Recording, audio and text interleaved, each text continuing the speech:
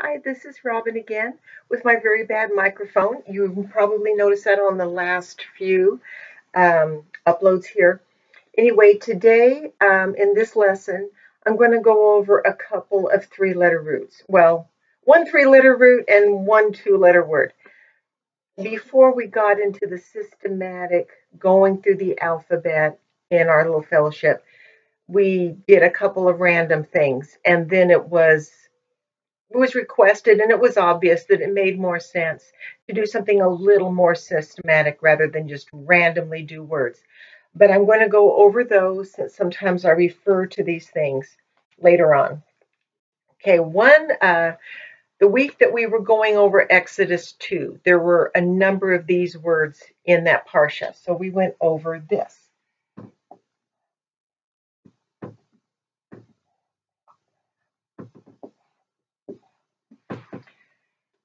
Yod Lamed Dalet, and it's pronounced Yalad. That's the three letter root. And if you put these vowel markings under it, that's how you would pronounce Yalad. And it's the root for to bear a child, to sire, to give birth, to beget, to be the parent. And it could be a man or a woman when you read through all the begots and so and so begot so and so and he begot so and so, this is the root, yalad. And the next word is the same letters.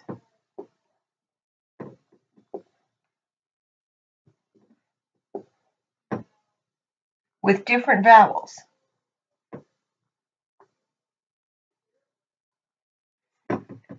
And this time, instead of being pronounced Yalad, it's yeled. Now, most Hebrew words have the accent on the last syllable. You assume that, you take that as a given. But when you have this eh sound in the vowels, yeled, then it's going to have the accent at the beginning. That's an aberration. And if you're used to saying very many Hebrew prayers, you'll, um, in many of them, it'll talk about, Blessed are you, God, King of the universe, Melech HaOlam. And the Melech has these same vowel markings. It's Melech, not Melech, even though most words have the accent on the end. So this is Yeled, and it doesn't apply to both genders. This is a male child. Next word is going to be the plural of male child.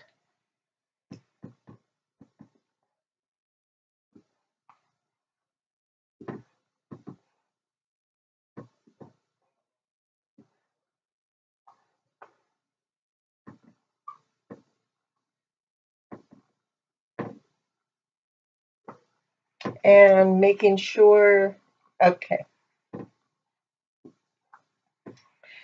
This is pronounced Yeladim.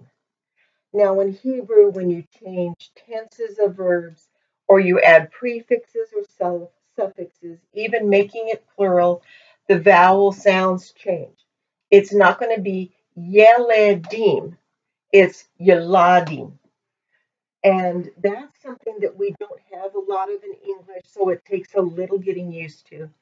For example, if you have one chair, if you make it plural into two chairs, you do not change in English the CH to an SH, the AI sound to a U, and drop the R because it's a weak letter.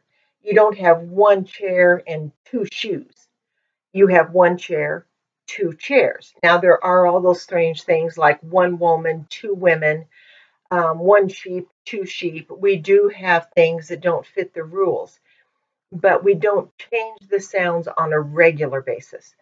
On a regular basis, you're going to be changing the vowels and the accents and the sounds in Hebrew. So this is um, he begat or she gave birth. Um, no, it wouldn't be she gave birth, but yalad, because that would be be yalada. Anyway, yalda.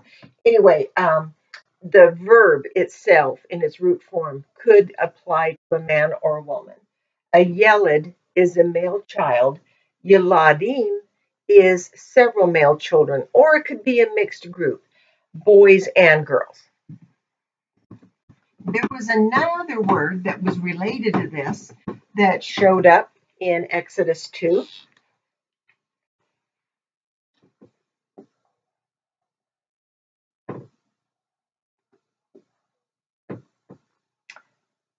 Yeah, okay.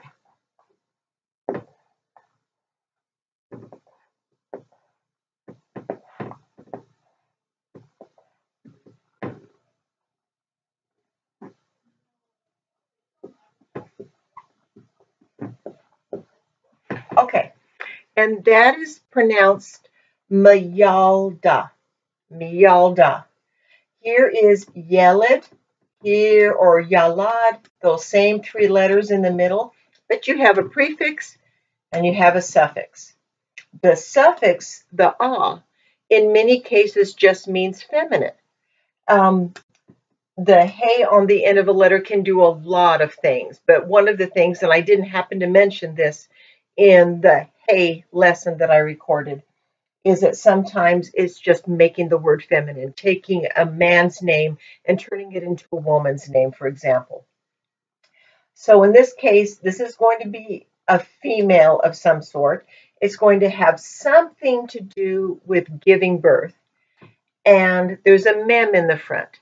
Now, lots of times the mem in the front means the place of. That's a good, good place to start when you're trying to figure out what a word might mean. In this case, that's not what it means. It's something else entirely. What is a woman having something to do with giving birth other than a mother that shows up in Exodus 2? Midwife. This is the Hebrew word for midwife.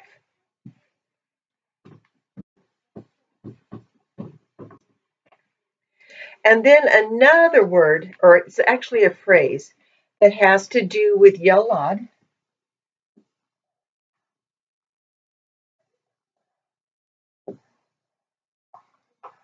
And this is going to take a couple of, well, two or three lines, because the next word is the longest.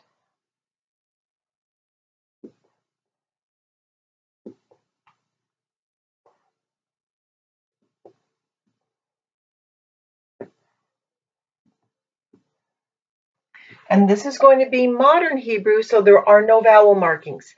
In modern Hebrew, you just have to know how it's pronounced.